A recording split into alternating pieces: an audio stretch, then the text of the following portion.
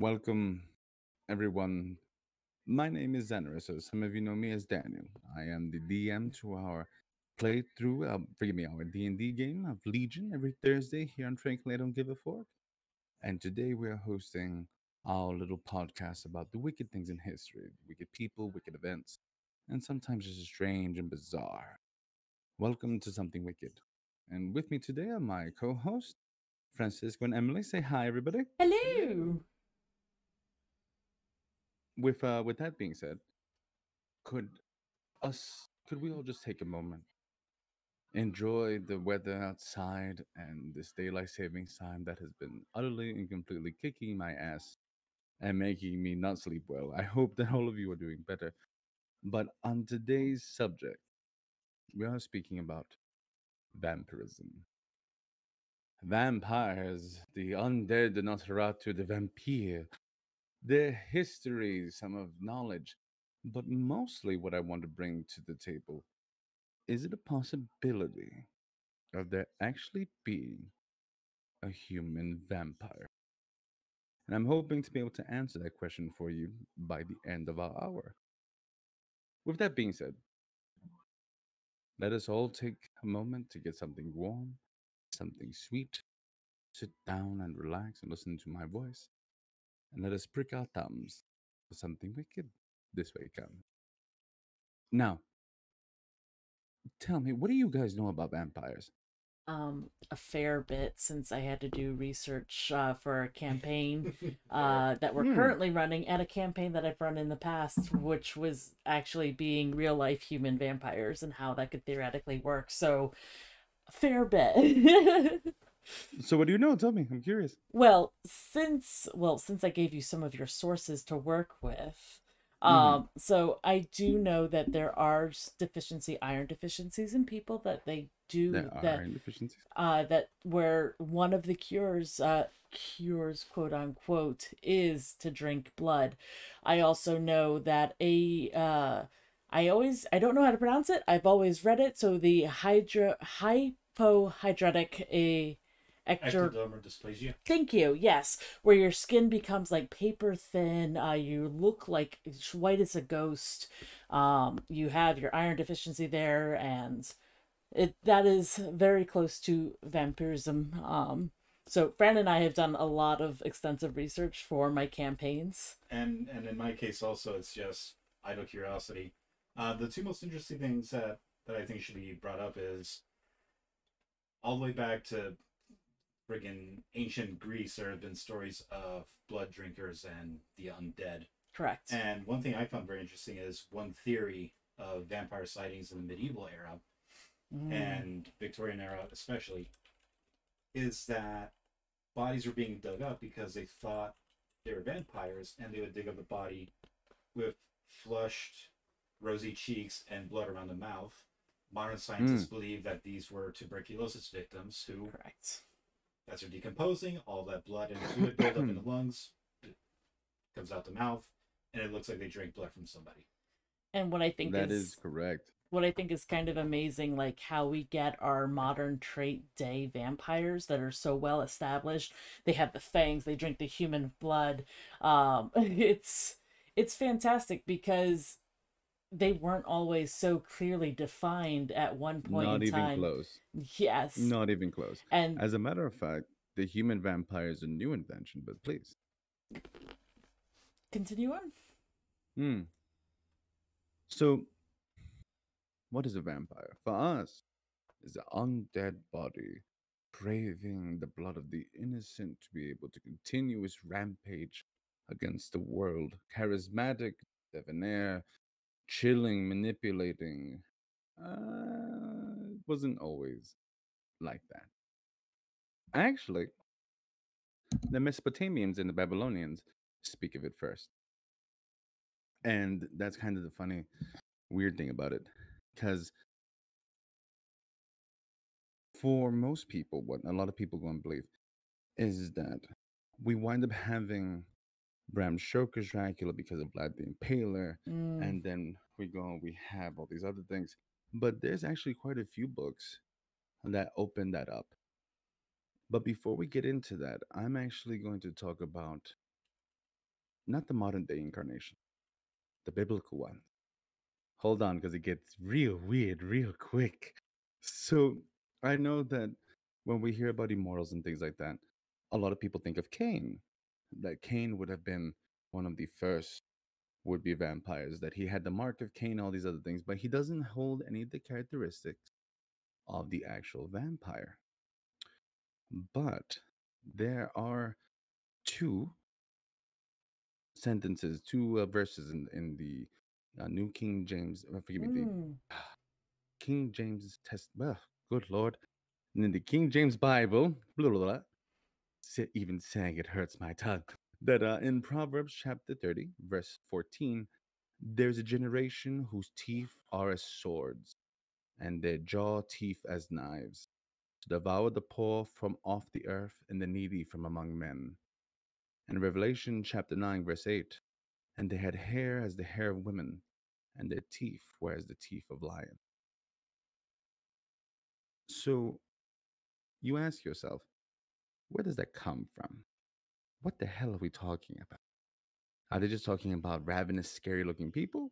Or are they talking about, you know, actual demonic type things? So the Babylonians believed, for the most part, that vampires were demons and that actually drunk blood because they had no other choice. They were vile creatures and that needed to uh, sustain themselves through destroying innocence and so on and so forth. Now, one of the bigger ones, give me one second so I can get that for you guys, starts off in Mesopotamia. In Babylon, in Babylonian, there are tales of the mythical Lilithu, which is also synonymous with Lilith, who sadly gets kind of the brunt of, of that and Mm. winds up being seen as a demonic creature because she was drinking the blood of children and of women. Um, Well, also because she slept with Adam, refused to sleep under Adam, she was cast out. Adam. Correct. She was cast out. That is correct.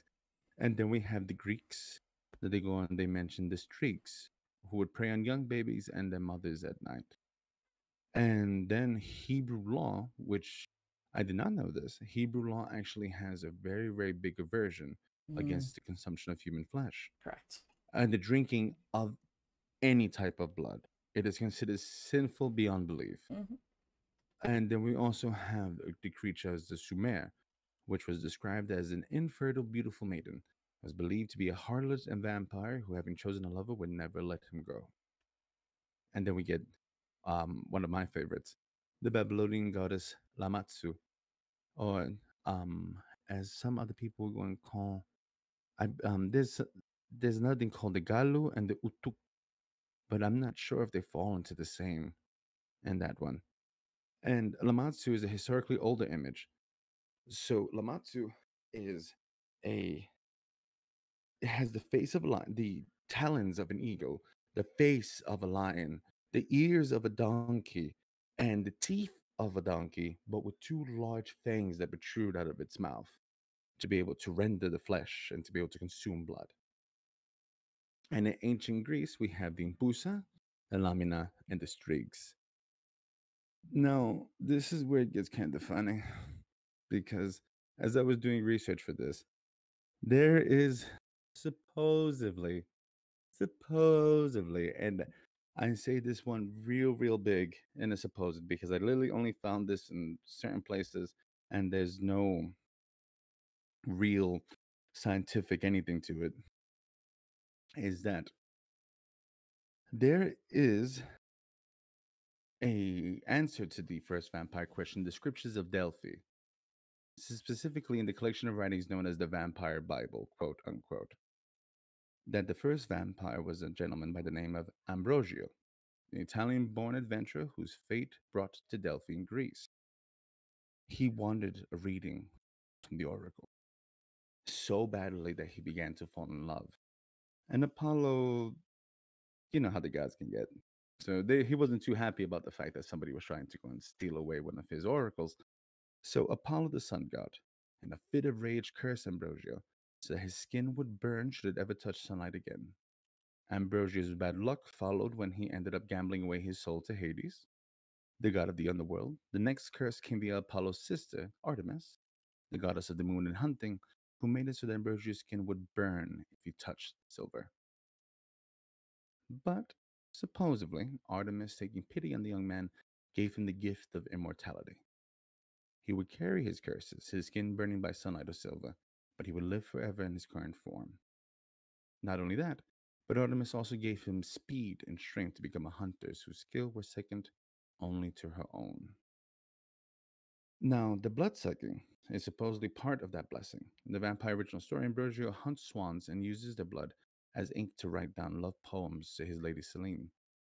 While this may be considered a little creepy by our standards, it wasn't at all that unusual in ancient Greece to do when you hunted. I looked and I looked and I looked and I looked and I looked and I looked and I couldn't find squat to go and prove that. But it sounds nifty, doesn't it? I'm gonna back gonna lie, it really does.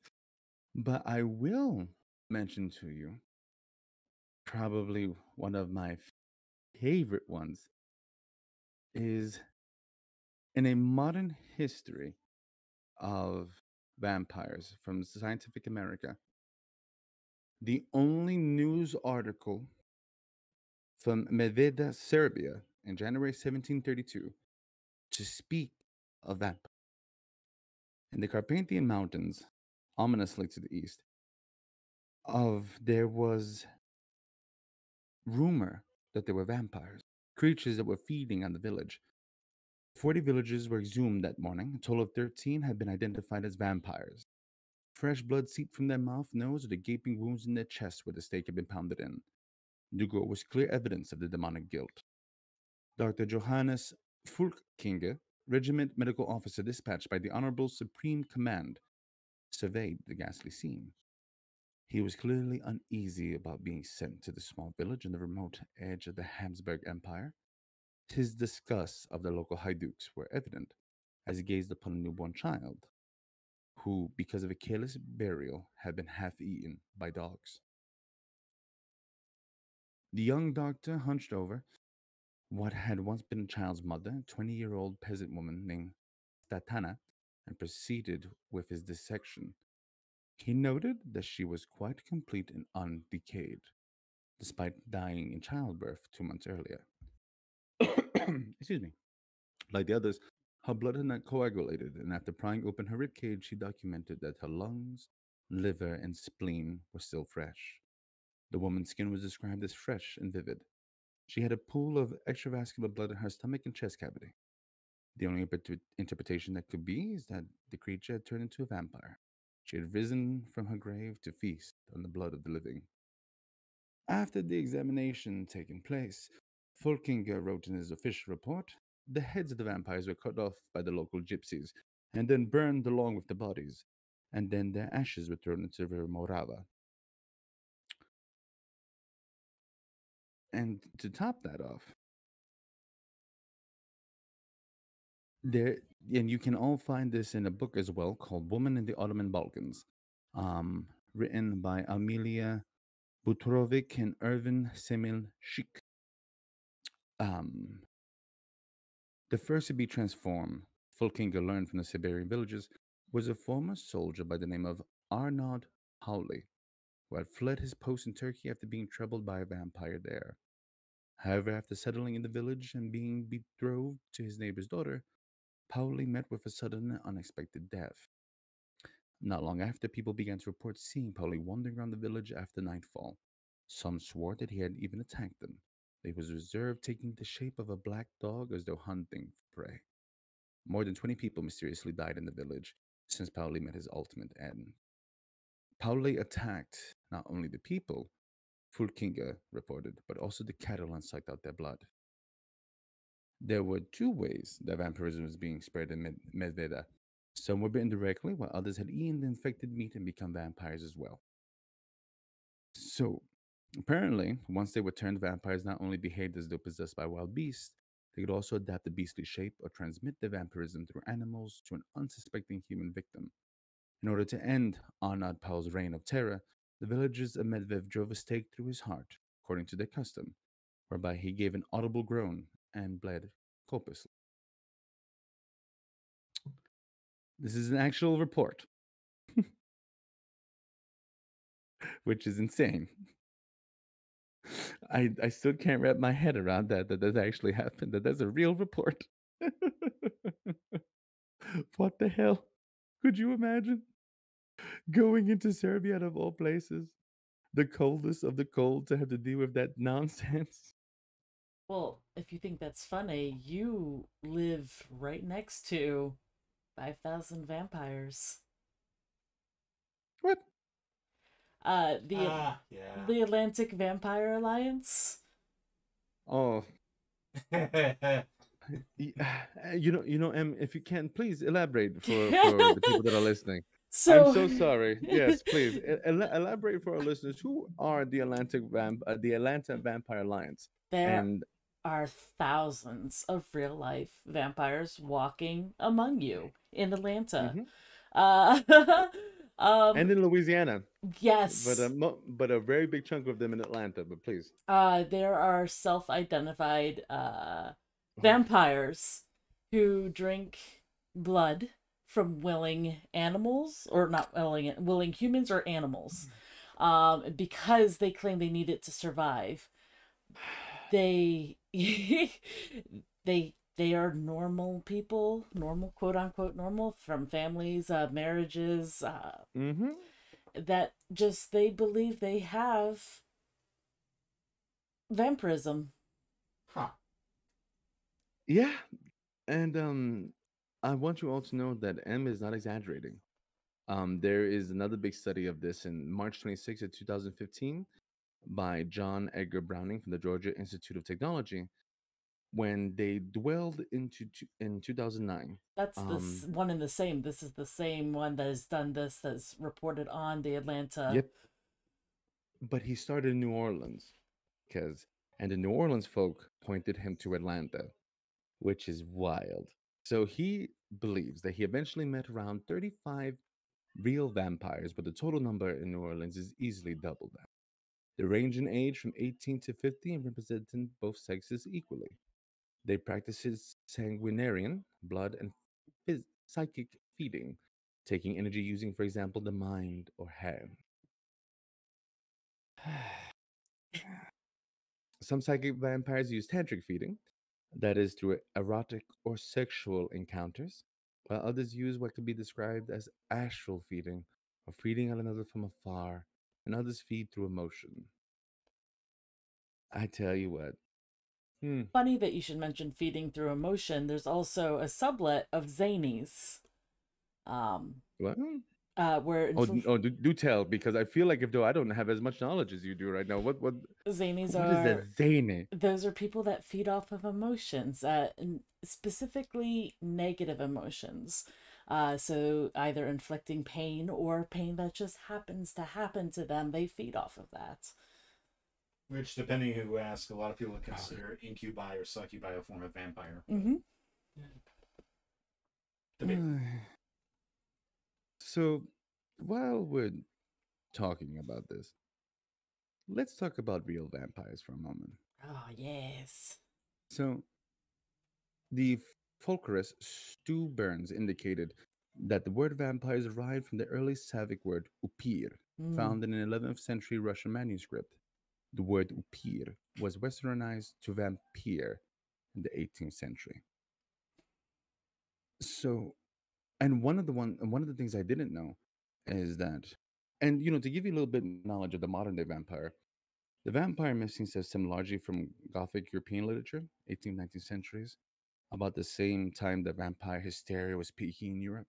hmm So, the very first thing that we see, though, is the 18th century poetry, such as Heinrich August Ossenfelder's De Vampire, 1748, but a seemingly vampiric narrator who seduces an innocent maiden.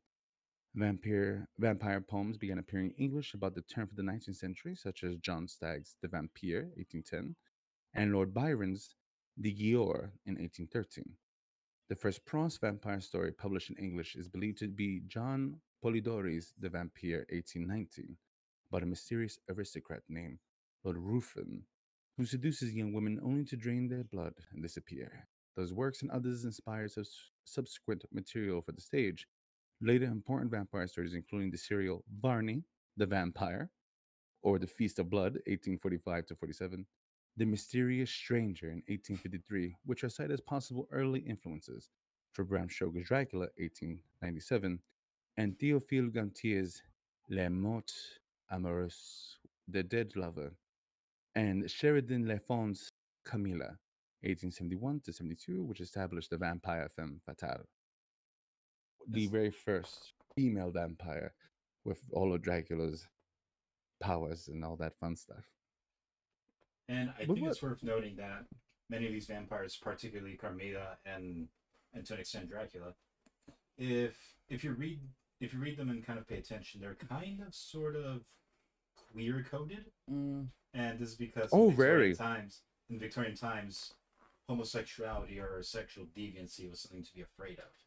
You know, gay people were thought of as predators and parasites. So Oh, but let's be honest.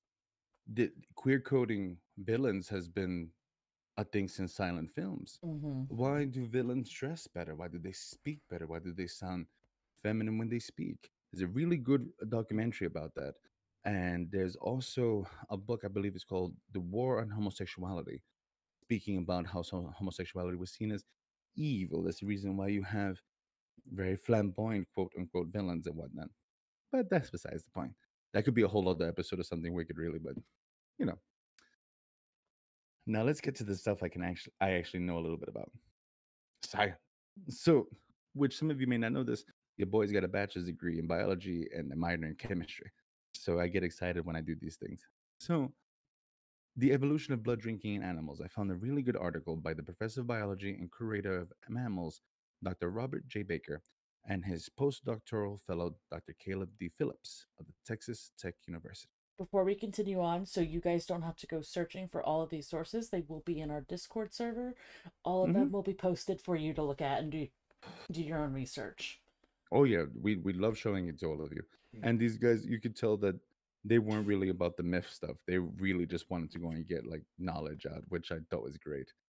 Um, so let's talk about the vampire bat. The members of a large and diverse mammalian family known as the Philo- Phyllostomidae, New World leaf nosed bats. At least 160 known species of bats are in this family. Most of the species feed primarily on fruit and other plant material, while others feed on insects, nectar, frogs, or are omnivores. There's only three vampire species that feed on blood. The common vampire bat, Desmodus rotundus, which I love the fact it's called Desmodus rotundus because it's literally small, round. rotundus should be a little cat name. And the white winged vampire bat, that is the Diaemus youngi, and the hairy laid vampire bat, Diphylla ecaudata. So recent genetic studies have determined that the vampires diverged from the remainder of the Phyllostomid family about 26 billion years ago. Blood feeding is thought to have evolved only once, and a common ancestor that is shared by the three vampire bats of today. Vampire bats is believed through genetic studies have evolved from insect eating bats that were feeding on the parasites of birds and mammals. Mm. The bats were consuming a partial diet of blood, the blood that the parasites had eaten. And when they pulled the parasites off the bird or mammal, they were further exposed to the blood at the attachment site. Behaviorally, it would not be a large leap for the bats to begin feeding directly on blood. This view is supported by observing other animals that feed in a familiar manner. For example, although obligate, meaning compelled or constrained, required to survive, blood feeding has evolved only once among vertebrates, vampire bat.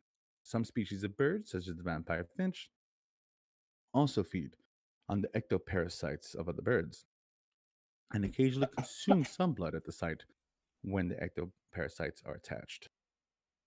But the amount of specialization that has to happen, what happens to an animal to make it built for it?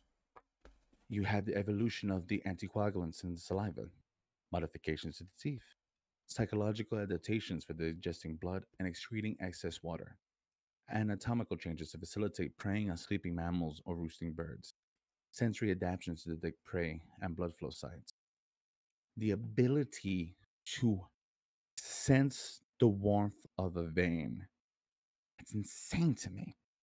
And then by comparing the proteins expressed in the saliva of vampire bats, insectivorous bats, and medicinal leeches, Doctors Baker and Phillips has shown that many of the salivary plant uh, proteins important for blood feeding, such as anticoagulants, are found in both vampire and leech saliva. One of the remarkable aspects of the discovery is that the evolutionary lineages that led to vampire bats and leeches diverged more than 500 million years ago during the Cambrian explosion. Dr. Baker and Phillips discovered that many of these salivary proteins found in vampire bats and leeches had been recruited to adaptive roles in blood feeding from gene families that were present in their common ancestor. Meaning, when we had that big evolutionary explosion, somehow, some way, leeches and vampire bats wound up with the same gene to be able to pull this shit off. That's amazing, isn't it? That's so fun. I think that's so great. I love the fact that that's even a thing. But yes, so we have that. So, is it possible for human beings to be able to drink blood? Yes and no. Well, technically, consuming human flesh is, unless you have that genome in you, you're not able to. But blood does not constrict with it, so there is no issue. it, there, there's no issue other than morality than drinking Well, human blood. Sort of, kind of. Very high in protein, very low in vitamins. And you Mhm. can actually wind up having iron poisoning from drinking too much blood. can actually shut down your kidneys and your gallbladder, which I did not know. Did not know that. Mm-hmm. Since extremely high in protein, like it will get you to where you need, mm. but you're not getting anything else. So could you drink blood? Yeah, sure. Why not? Yeah, I guess. but there's also a very high amount of parasites in blood. So if you're drinking animal blood, I would highly recommend that you get it from a reputable source. Not saying that us here in something wicked are saying that you should do that. Please do not. Yeah. But just kind of throwing that out there. but where does it come from? Different medical Hypo- diseases. Yes, and one of the fun ones. Hypohidrotic ectodermal dysplasia, or HED. Is that actually how you pronounce it? Because I just like I've read that so many times. I'm like, ah, like it was like, ah, this word, yeah. You tried. You did. no, I didn't even try. I'm like, uh, this word, yeah. I just no, no, bypassed it. no, no. Let, we, uh, from here on in, we're gonna call it HED because if I have to say that every single time, I'm gonna swallow my own tongue. it's a, it's a genetic skin disease. Common symptoms include sparse scalp and body hair, reduced ability to sweat, and missing teeth. HED is caused by mutations in the EDA, EDA, or EDA, RADD genes. It is inherited in an X-linked recessive, autosomal recessive, or autosomal dominant manner, meaning it is a genetic defect literally acquired through sex. It is through gender that this is given. So the X-link form in the most is the most common form. The forms have similar signs and symptoms. However, the autosomal dominant form tends to be the mildest. This can cause overheating, removal of um, ear and nose con- con- concretions. For some strange reason, they secrete a foul liquid from their nose because of this. There's an actual actor that has this as well. He's very tall. I'm not going to say his name because I don't want anybody poking fun at the poor guy. But there is an actor who's been in a lot of um, monster movies with this condition. He's the taller looking gentleman, but you can definitely go and tell that, in all frankness, he bears a similarity of the Nosferatu, of the long ears, of the pointed teeth, and things like that. yes. But again, I want us to take a moment to really think of what what would make people think this. And then we have let me find the real Are you thinking porphyria? Yes. And there is a great, great, great article Born to the Purple The Story of Porphyria. Porphyrins are light activated chemicals that can be used to combat ills, including tumors and diseases of the eye. But with the wrong forms of them built up in the body, they cause a disease called porphyria, named from the ancient Greek word porphyra, meaning purple. What, what happened then? I'm sorry. I'm so excited that you're getting into Porphyria because I went down a bit of a rabbit hole with this. Oh, uh, did you? Yeah. Yes, because You then tell me, tell me, what do you know? So it's amazing because if you have, well, it's not amazing, but it is amazing. So if you have Pyphoria, I am so sorry for you. Like you have It- extreme sensitivity to sunlight, and like it can actually cause like disoriented uh, vision and like blackened skin and hair, weird hair growth in weird places. You actually Oh, get yes. fangs, and it looks like you drink blood because your urine comes out red more times than not, and you're Mhm. actually allergic to garlic. Yes, yes, you are. um, now the now- the wild part about that is that it's believed that there's a a, a good chunk of that in Transylvania. Yes. Yeah. I'm so excited you're getting into this because this is what my entire campaign was based off of because they did oh, they did not want fake vampires. They wanted realistic vampires. So, Oh, I understand. oh, I'm I so Totally excited. understand. So let's get into it. Scientific America speaks of porphyria. So the Greeks borrowed the term from the Phoenicians who extracted a purple pigment from purpura mollusk to dye garments for the royal family.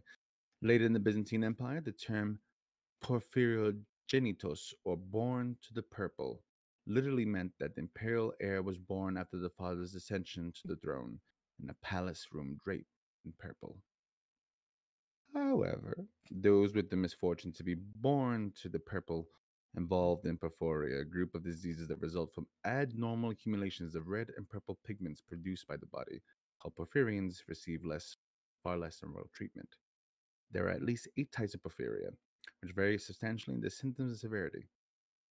Now, to get a good understanding of that, light activated toxins. Hippocra- Hippocrates is often cited as the first recognized porphyria, which was then referred to as blood liver disease.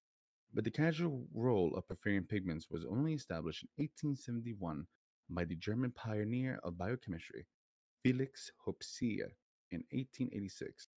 Dr. B.J. Stokvis described the clinical syndrome as porphyria, and from then, no more um, on more and more forms of the syndrome were discovered. But these are the things that they all have in common. They each result from faults in the body's hem building machinery. Hem, a component of the oxygen transporter hemoglobin, is made in a sequence of eight steps, as in a factory assembly line. Each step is catalyzed by separate enzyme. In any of these eight steps fail because of an inherited genetic mutation or environmental toxin, which we're going to talk about in a second, then the whole assembly line goes to hell. The products um, can include earlier steps or porphyrin intermediates may build up to toxic levels. These porphyrins accumulate in the skin and other organs before being excreted in the feces and urine, which may turn to a port wine color. Exposed to light, the porphyrins can cause caustic and destroy surrounding tissue, which is insane.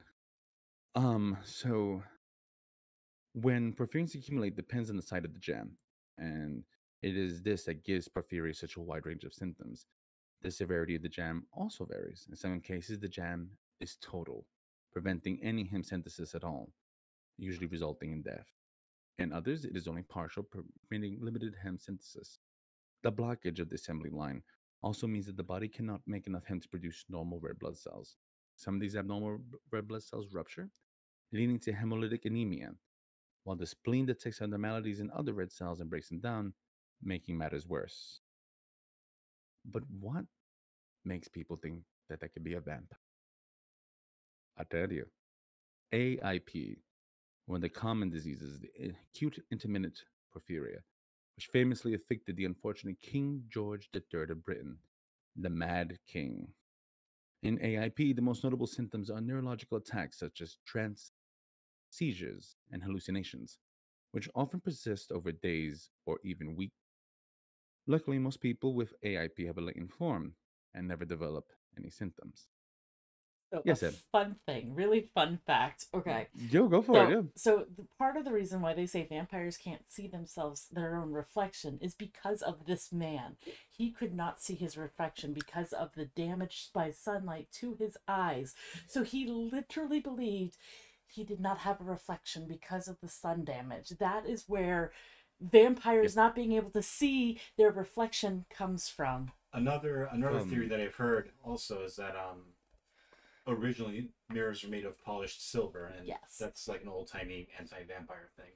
Oh yeah. Oh yeah. So the funny thing is though, A- AIP has also been a hallmark of werewolf of lycanthropy. Mhm. Another relative common form is Porphyria cutanea tardia, which presents a very different spectrum of, sys- of symptoms. In this case, the hallmark is photosensitivity, an excess reaction to light, which causes chronic blistering and even burns on sun exposed areas. Healing is slow and is associated with scarring and hair growth, especially on the face. Most of the time, the facial hairs are fine, so the hier- heratism is barely noticeable. Sometimes, however, the hair can be given the appearance of a werewolf, leading to speculations that the myths may have a medical bias. Then we have in congenital erythropoietic porphyria, CEP, one of the rarest forms, 18 different mutations in the gene encoding the enzyme uropheriogen 3 co-synthetase have been reported in different families. These mutations obstruct heme synthesis to varying degrees. At worst, CEP causes appalling photomutilations from the light activated por- uh, porph- porphins, including loss of facial features and fingers, scarring of the cornea, and blindness. The condition has been less rare in the past, especially in isolated pockets where inbreeding could occur, such as the valleys of Transylvania, perhaps giving the rise to the tales of vampires. While the accumulation of porphyrins is usually caused by genetic mutations, toxins such as alcohol excess, environmental contaminants can also cause it. The most notorious episode occurred in Turkey in the 1950s, where 4,000 people developed the form of porphyria after eating wheat seeds that had been sprayed with a fungicide hexachlorobenzene. Hundreds died, and use of fungicide was later banned around the world. Whew. So, how do people with porphyria survive? Blood or hand transfusions can supply some relief. And this is still the mainstay, mainstay treatment. Interesting. Yes. there's about 20,000 people, I think, last time that I researched this, there's about 20,000 people that have this. And there are certain things that cause triggers uh, smoking, uh, fasting, um, base, drinking, drugs, basically anything fun or anything like that. well, any that. of these things that would affect the bloodstream. yes. Think about it. If Uh, you can't if you can't make new red blood cells, and you're smoking, which is Mhm. going to thin, excuse me, thin out your blood. Drinking, which will thin out your blood. Mm-hmm. Ex- fasting is going to go and do the same thing.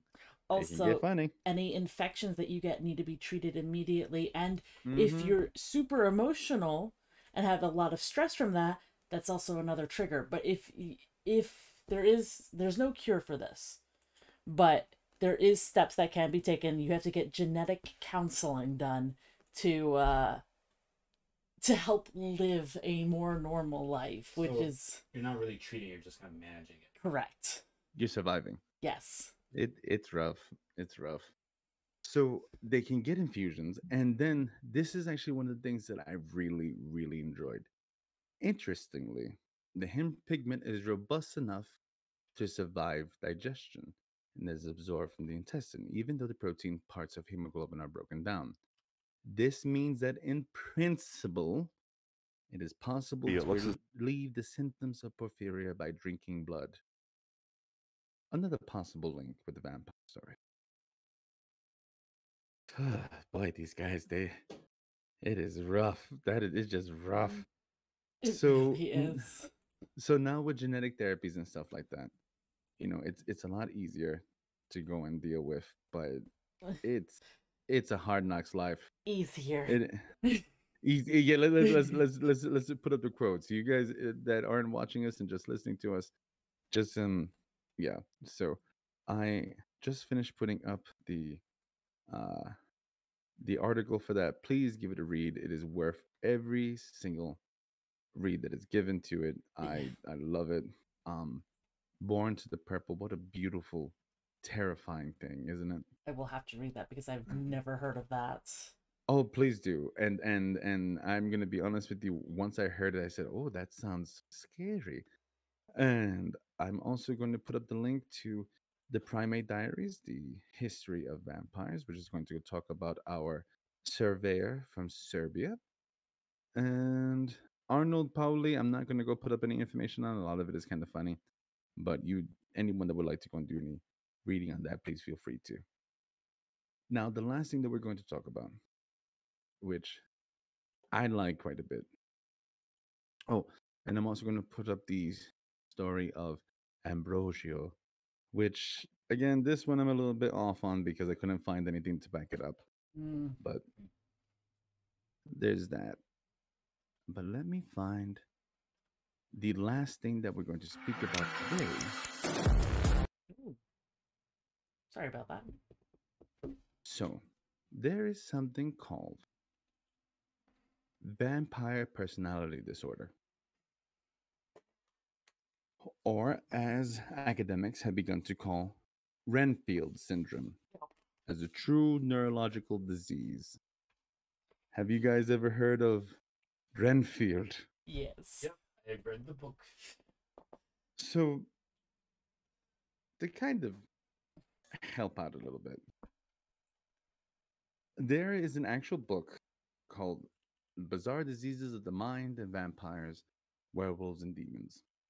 The author Noll had noticed that some of these patients behaved like a demented character named Renfield from Bram Stoker's Dracula, a delusional mental patient in a lunatic asylum who eats spiders and flies to absorb their life. Dracula uses him to gain entry before enslaving him.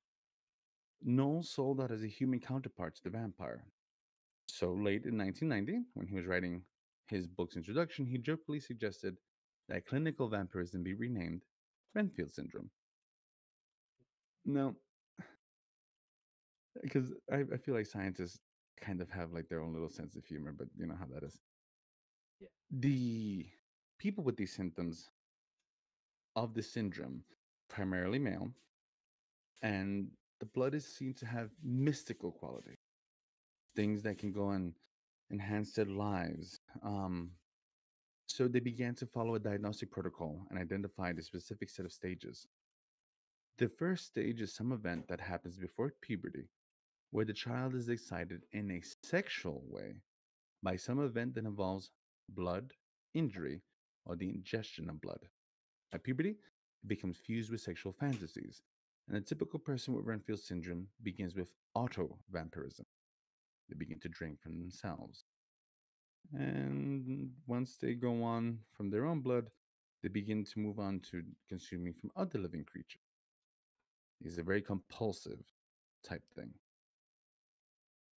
Now, a lot of people thought it was a joke, but in the Journal of the History of Neurosciences, published by Regis Olry and Dwayne E. Haynes' article, Renfield Syndrome, a psychiatric illness drawn from Bram Stoker's Dracula, it wasn't funny anymore. It was real. And at this rate, they believed that it would actually wind up in books. The authors write quite seriously that the etiology remains unknown. Maybe that's because Renfield syndrome doesn't actually exist on any established professional list. But clinical vampirism does. Psychiatric, uh, psychiatrists have long been aware of certain cases in which someone has a delusional notion that he or she is a vampire and therefore needs blood. The this arises from uh, not from fiction and film, but from an erotic attraction to blood and the idea that it conveys certain powers. Develops through sexual excitement.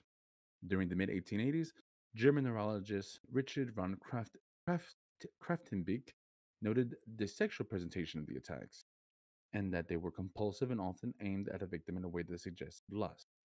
He included this in descriptions the psychopathia sexualis. And we also have a little sample of that. A 25 year old wine dresser who murdered a 20 year old girl in the woods admitted that he also drank her blood, mutilated her genitals, tore out a part of her heart, and buried her remains. There was also the man who cut off his arm for his wife to suck on before sex because it aroused her so strongly. Yeah. so, perhaps we need a little bit more info, I think. The Science of Vampires. Um, Miss Noll presents I call the Vampire Personality Disorder, VPD. I included clinical vampires, but also killers compelled by bloodlust and people who exploit the vampire image to act out fantasy scenarios in a way that harm others. I even describe psychological vampires who encourage a codependent relationship so they can use up others' resources. But so far, no prestigious journal or diagnostic manual has taken VPD seriously. So, with that being said, I think it's important for us to kind of sit down and really think on it. As someone like myself who is involved in the kink, kink world and stuff like that, blood play is a very real thing. And it's something that happens more often than not. This usually also falls into things like blade play. So, and for those of you who don't know, and this is an adult podcast, so there are people that are sexually aroused by the presence of knives, people that are also aroused by initiating small cuts to their lovers and drinking from them. I personally don't engage in it. I find it a little bit too dangerous for my liking. Not my thing. I think it's also important to put out that knife play can often lead to blood play, but d- does not inherently mean eh, you're Correct. They Yes. can be mutually exclusive. correct. They can be mutually exclusive. 150%. So, with all that being said, with all this knowledge being put out, are vampires real? No, not really. But the fact that there are so many different vampire legends all across the world, the fact that there are various genetic syndromes that cause symptoms similar to this, is there an explanation? Well, not not to cause any trouble on people who are religious, but I mean, if you're religious and you you truly believe in the Bible, then of course there are vampires. Lilith is walking around, and Cain is walking around, cursed to walk until end of eternity. Which reminds me of something, by the way. Um, tiny bit off, off topic, but bear with me. It'll come back. One of the one of the theories I've heard for the the origin of the myth of the sunlight destroying vampires Mm-hmm. is because in many cultures and many religions, the sun is seen as a manifestation of God, or sometimes literally even the face of God. Yep. So Oh, yes. the ultimate holy presence would be, you know, the gaze. It's literally the gaze of God incinerating the evil. That's what it comes down to. Well, let's take a look at uh, Dante's Inferno, the last level of hell where Satan himself presides, freezing from the complete and utter lack of God's love present. Things to think about as we think about these wicked things and these wicked people. With that being said, we're coming to an end to our little vampire story. Sadly, I don't have, well, sadly, and thank God, we actually don't have any real vampires to go and speak of. Now, there are vampiric people out there, mm, which you could probably go and find. The Atlantic Coalition of Vampires, please feel free to go and bring them up. I've been told that they're very, very nice people. I did not bother them. I left them be to their own devices. I actually interviewed one for my campaign. I'm sure that they're absolutely Oh yeah, like- they were fantastic. like I have no doubt. I really don't. Like I feel like they're probably super duper nice and like super okay with talking about everything. very open, very sweet. Like she was amazing to talk to. Um, You and know, it, we corresponded over email, and then she gave me a phone call, and then I asked her my questions, and she was fan- You amazing. you know, it's one of those things that I I it's it's hard because I want to believe so bad in the supernatural. I really do. And for those of you who do not know, I practice Santeria. So we believe in the saints, we believe in the dead, we believe in vampiric creatures. These are all things that we believe in. But even then, I cannot bring myself to go and say vampires are real. I just I can't I can't do it. Can't do it. Can't do it. I think But it's something to say is it's equally horrifying to say that there is no such thing as supernatural beings or extraterrestrial beings, but it's also equally terrifying saying that there is. You're in a world that has it or a world that doesn't. it's so odd to go and think that if we truly are just alone in the void with nothing, just how terrifying just the thought of that is. But on a softer note before I end, we here at Something Wicked, even though we take these things and sometimes we laugh and sometimes I give them a hard time,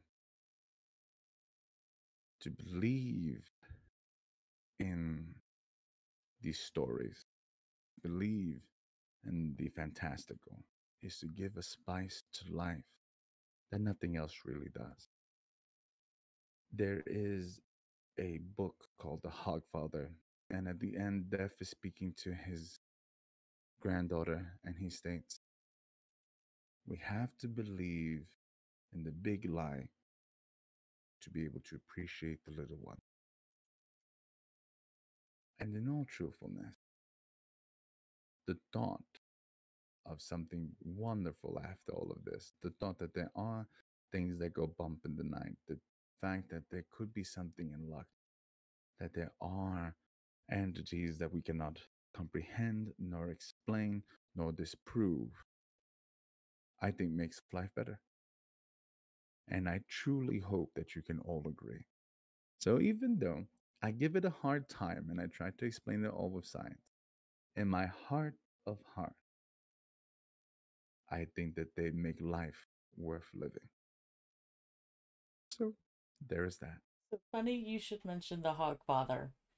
Join Hmm. our Discord server on Shenanigan Tuesdays, uh, November 30th, to kick off our December uh, festivities. We are watching the Hogfather, so be sure One to of my come- favorite Christmas movies, which I showed the guys last Christmas. and I'm so Daniel showed liked it. us, and I fell in love with death. Oh my god! It's so good. It's so good, and it and it's so fun. and it's it's pretty much uh, there's a group of people that send an assassin to kill Santa.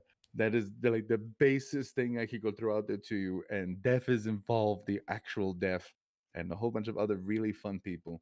It's a great, great read, and it's a great, great miniseries. If you get a time, sit with your family, read it. You'll enjoy it. I enjoyed it very Yes. much, and I love sharing it. Come share it with us on uh, November 30th. And please feel free. And that's on Tuesday. Yes. Okay, so you guys are gonna go and have my dumb ass go and pop up there to go and and and spend some time with all of you. All right. So with that being said, let us all take a moment and prick our thumbs for something wicked this way come. Thank you so much for being with us today, and thank you so much for spending time with us. We deeply appreciate you. Have an excellent weekend. We'll see you all very soon. Bye. Bye. We are off. Oh, that was good. I think we had a good episode, guys. I got commented that someone was found it very amusing. I was getting excited about this terrible disease, and I was couldn't stop smiling. So that there's a section of time I'm like just holding my hand over my mouth. I mean,